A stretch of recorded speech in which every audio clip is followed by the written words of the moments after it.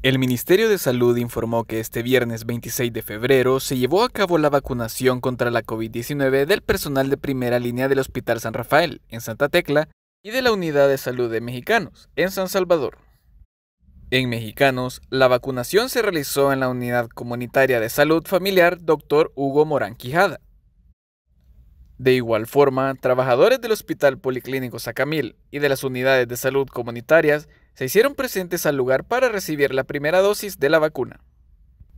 El gobierno asegura que hasta el momento se han aplicado 16.300 dosis de la vacuna al personal de primera línea, tanto del sistema público como del privado a través del Ministerio de Salud. Informó para Diario El Salvador Iván Barahona.